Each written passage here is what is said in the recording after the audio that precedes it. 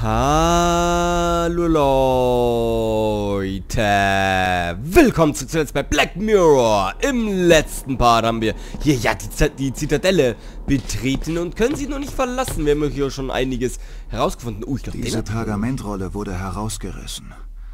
Es scheint nur noch eine Art Familienschwur übrig zu sein. In Blut sind wir gebunden an das Land, das wir schützen an die Wahrheiten, die wir allein verbergen. Ich werde mein Leben opfern, um meinen Clan vor Leid zu bewahren. Ich werde meinen Geist opfern, um die Finsternis zu bannen.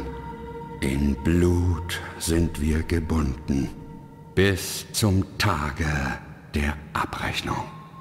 Was zum Teufel? Woher kommt diese Kälte?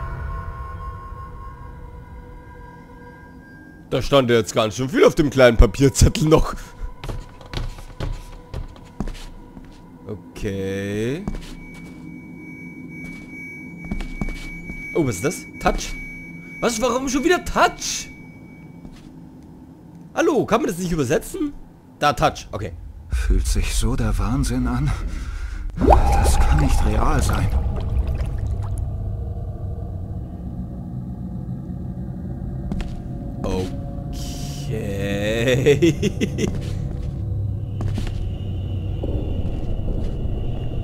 Da, da waren Blubberblasen. Guck mal, da Blubberblasen. Darf ich die, soll ich die berühren? Nee. Hier ist auch nichts mehr. Vielleicht soll ich ja einfach rausgehen. Das kann ja auch sein.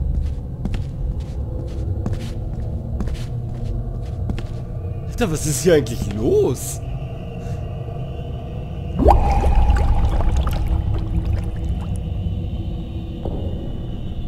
All das hier sieht aus wie der Grund eines Sees.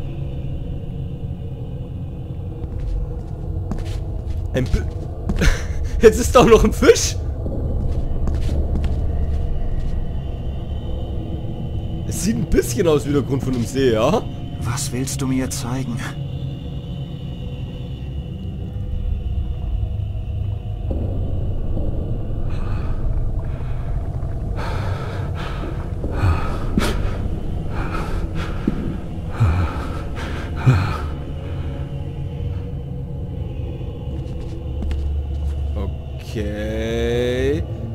Dir soll ich berühren? Oder auch nicht? Doch. Sie hält kein Baby, sondern irgendein schweres Objekt, um sich nach unten zu ziehen. Selbstmord?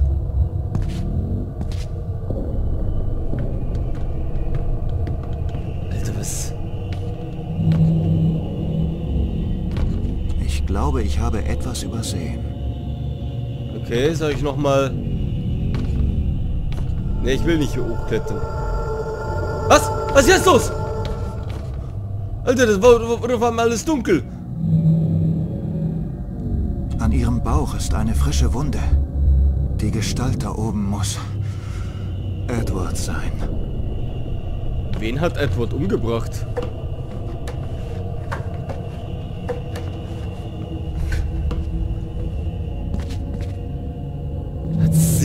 Umgebracht aus Schutz vor ihm so oder aus Angst vor ihm?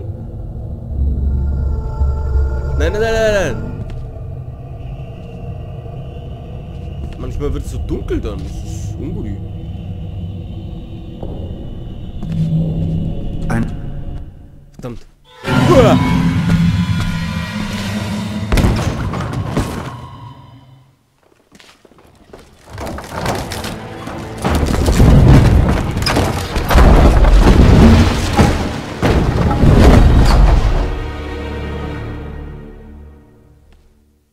Alles in Ordnung? Oh, nicht das schon wieder. Ach ja, ich muss das Ding hier steuern. Ja, ich krieg das hin. Ah, okay, es wird leiser. Ah.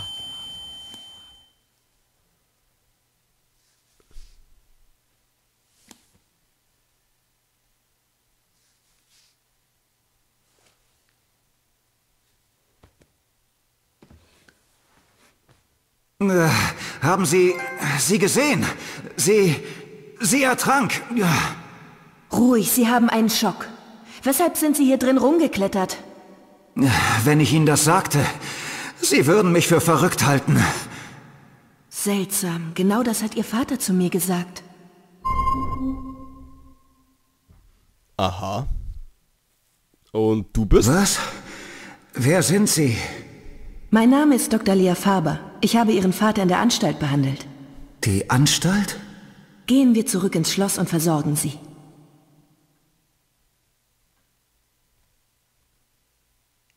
Da war doch aber noch hier, sie kannten meinen Vater.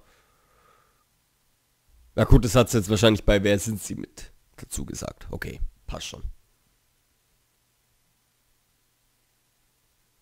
Ich finde es übrigens erstaunlich, dass wir schon sage und schreibe äh, 9% geladen haben. Sage und schreibe 40%. Alter, das ist so, das ist so traurig an dem Spiel.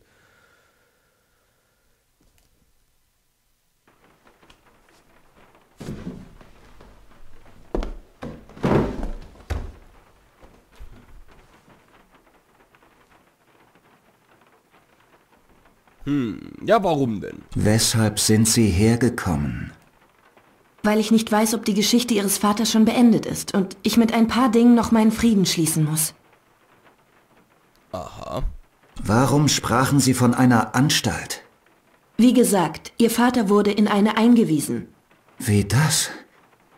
Wer hat ihm das angetan? Ich. Leider konnte er ausbrechen. Was? Augenblick mal. Wie können Sie es wagen, hierher zu kommen und... Ich hab's dir gesagt. Dein Vater war ein Irrer. Ein total durchgedrehter Irrer. Beachtet mich gar nicht. Sprecht weiter.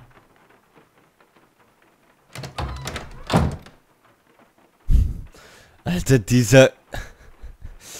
Und? Mit welchem Recht haben Sie meinen Vater in ein... in ein Irrenhaus gesteckt? Ich war seine Ärztin. Ich verstehe, dass Sie unter Schock stehen, aber das gibt Ihnen nicht das Recht, so mit mir zu reden. Ich habe versucht, ihm zu helfen. Er ist tot. Gute Arbeit. Jetzt hören Sie mal...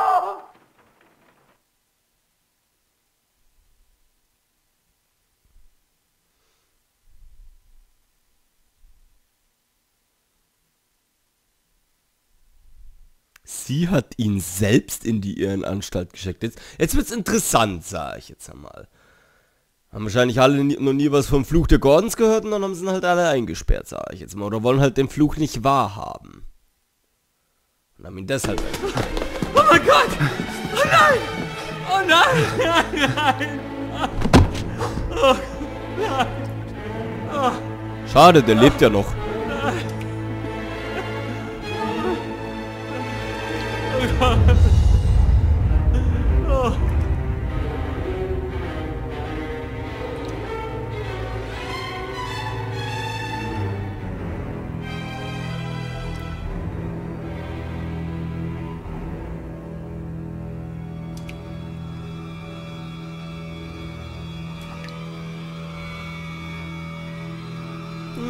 Warum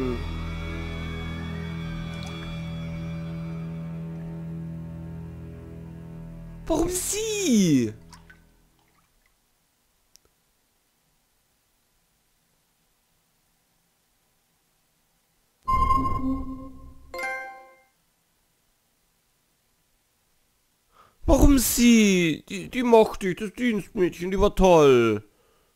Außerdem wollte die doch mit mir reden am Abendessen, nach dem Abendessen.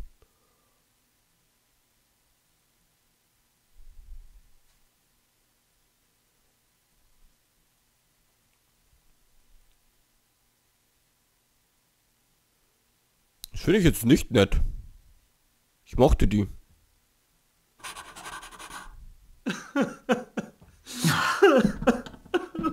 Andy, alles wird gut. Reiß dich zusammen. Ich schlage vor, niemand geht mehr hinunter. Wir sollten den Raum so belassen, bis die Polizei kommt. Ich werde Sie sofort morgen früh verständigen. Was für ein unglücklicher Unfall. Ein Unfall! Das glaubst du! Gleich nachdem der Sohn dieses Irren hier aufgetaucht ist? Du warst es doch, der mit blutigen Händen über ihrer Leiche stand. Wie kannst du nur? Ich kam zu spät! Ich wollte ihr helfen. Sie... Sie... Ah, mein Junge. Bringen wir dich ins Bett. Angus, würden Sie... Natürlich, Madame. Ich denke, ein bisschen Schlaf wird uns allen gut tun.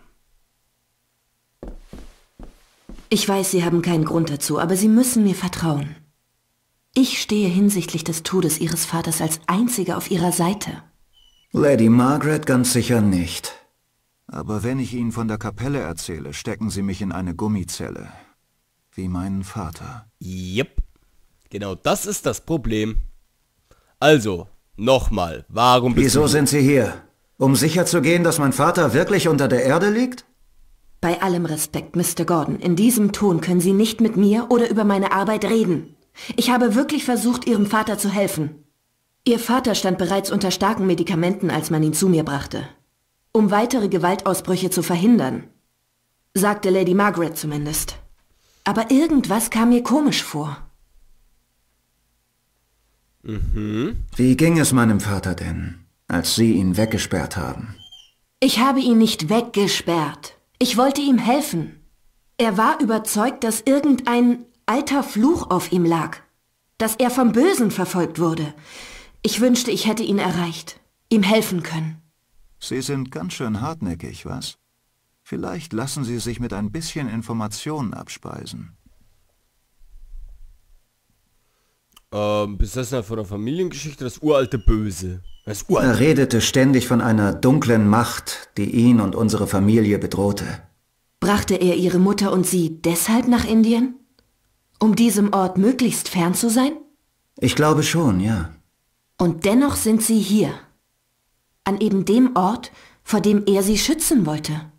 Wer weiß, vielleicht birgt dieser Ort wirklich etwas Böses. Etwas Böses, das uns zurückzerrt, egal aus welcher Entfernung. Selbst von der anderen Seite der Welt. Vater war von der Familiengeschichte besessen, solange ich mich erinnern kann. Hat ihr Vater wirklich geglaubt, die Familie sei hinter ihm her? Wer weiß, ich glaube nicht. Was ihn ängstigte, ging wohl über das Weltliche hinaus. Und was glauben Sie? Hatte Ihr Vater recht? Gibt es Dinge jenseits des Physischen? Hm. Das ist eine gute Frage. Ablehnen? Also sagen wir, nö, nö, nö, gibt's nicht. Oder weichen wir einfach raus und sagen, hey, du hast übrigens geile Titten. Und ich würde mal sagen, genau das machen wir. Ich muss mich jetzt um andere Dinge kümmern. Wie eine ertrinkende Frau, die durch die Luft schwebt. Wenn Sie mir wirklich helfen wollen, ich muss erfahren, was das Hausmädchen wusste. Was Lady Margaret und Angus vor mir verbergen wollten. Sie glauben, das führte zu Ihrem Tod? Vielleicht. Was ich in der Kapelle gesehen habe, muss real sein. Sie muss sich unten im See ertränkt haben. Denn wenn ich mir das alles nur einbilde... Puh, wie der Vater, so der Sohn. Ja, kann man so sagen. Das bedeutet, wir sollten vielleicht dann mal äh, gegebenenfalls auf Tauchstation gehen. So, wie heißt der kleine Pisser nochmal? Andy? Schade, dass der nicht dabei umgekommen ist. Oh, was haben wir hier? Rory ist ja nicht gerade der ordentlichste. Rory ist total ordentlich. Rory ist ja... Natürlich, Mann, das ist der Gärtner. Hey, stimmt, der Gärtner, wir haben einen Gärtner, der Gärtner ist schuld, komm. Cluedo-Fall gelöst. Der Gärtner ist schuld, das ist immer der Gärtner. Auch wenn ich Rory ja irgendwie mag, obwohl er irgendwie ein widerlicher Kerl ist. Äh, wo gehen wir denn hin? Also da geht's ja runter in den Keller, wenn ich mich nicht ganz irre. Wir müssen die Leiche des Hausmädchens im Keller untersuchen. Ach, da. Um ihren Mörder zu finden? Um sicherzustellen, dass es Mord war, bevor wir jemanden beschuldigen. Okay. Angus hat den Schlüssel. Es sei denn, wir kommen anders rein. Ha, wie kommen wir da rein, wenn Angus den Schlüssel hat? Weißt du, die wollen das gerade alle vertuschen, dass die dir umge... Ich habe eine Idee, wie wir in den Keller gelangen, aber ich weiß nicht, ob sie Ihnen gefällt. Wenn es dabei um diesen dreckigen Kasten geht, vergessen Sie es. Tja. Äh, nicht damenhaft, Sie haben Hilfe, ich kann das nicht alleine tun. Ähm. Komm schon, ich kann es nicht. Ich passe nicht rein. Und sonst wüsste ich keinen Weg in den Keller. Sie erwarten unter diesen Umständen ganz schön viel Vertrauen von mir. Ich weiß. Sie können mir vertrauen. Und ich werde versuchen, mich Ihnen zu öffnen, so gut ich kann. Na gut. Kleidung kann man waschen. Was bist denn du für eine Etepetete-Schnöpfe? Geh da einfach rein. Scheiß auf die paar Spinnnetze. Reizend. Ja. Oh, reizende Aussicht. Tschüss. Grüß die Zombies da unten. Ziehen Sie mich wieder rauf!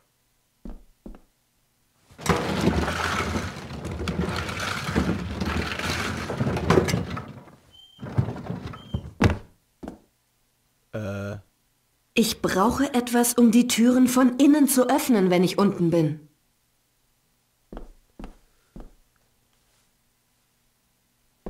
Okay. Sie braucht was, um die Tür zu öffnen. Aber was? Damit sollte es gehen. Ach, Messer. Ah.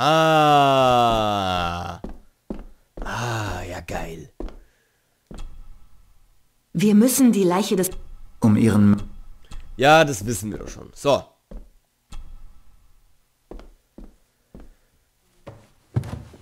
Gebe ich jetzt äh, automatisch das Messer oder? Ja. Sehr gut. Und abwärts. Tschüss. Viel Glück. Dann bis gleich. Oh, sie klingt auf einmal richtig sympathisch.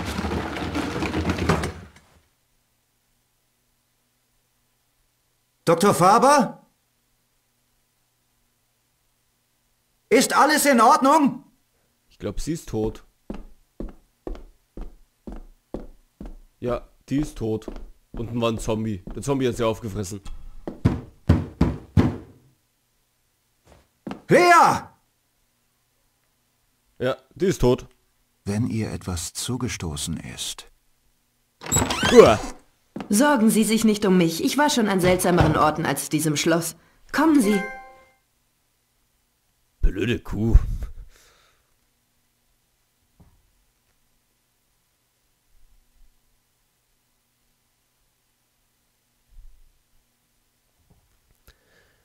Also ich denke mal, dass ähm, eventuell Angus das Dienstmädchen umgebracht hat. Könnte ich mir schon vorstellen.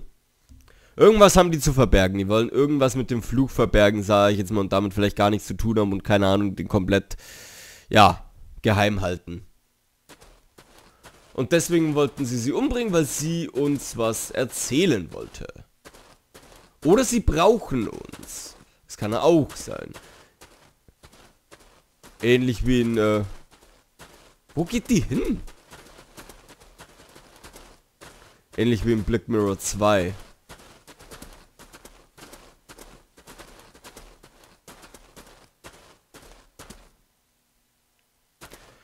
hi. Fleisch scheint in diesem Haus hoch im Kurs zu stehen. Fleisch ist immer gut. Was für ein entsetzlicher Tod. Was für ein... Wie ist die überhaupt gestorben? Ihr wurde das Genick gebrochen. Und mit beachtlicher Kraft, wie es scheint. Ihre Halskette scheint aus Gold, wenn auch recht schlicht zu sein. Und es ist keinerlei Anhänger daran. Trotzdem viel zu teuer für ein Hausmädchen. Es... Äh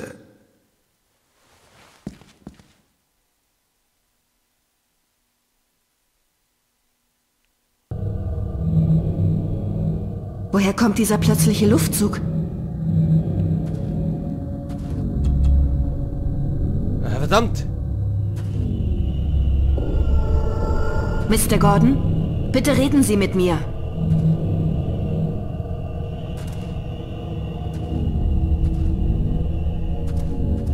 David, können Sie mich hören? Ja, ja, ich kann dich hören. Was machen die da?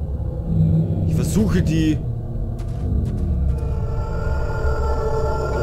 Mr. Gordon, hören Sie mich? Ich verstehe nicht, warum das manchmal dunkel wird und manchmal nicht.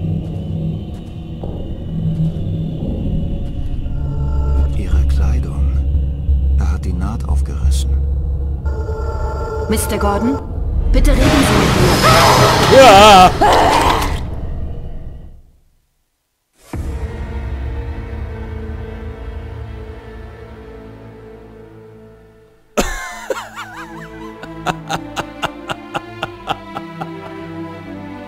Was war das?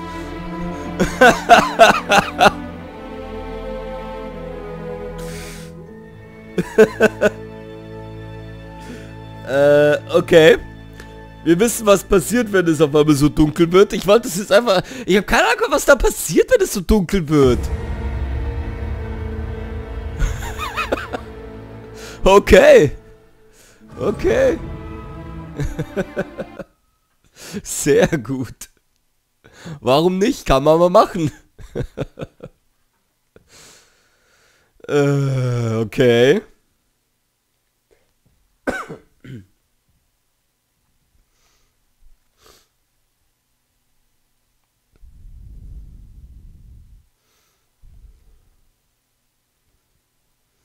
Okay, okay, okay. Ja, jetzt sind wir natürlich wieder hier unten. Ist ja sehr gut. Und ich würde mal sagen, meine Freunde, beim nächsten Mal sehen wir uns dann äh, an Ort und Stelle einfach wieder. Hey, schau mal da vorne.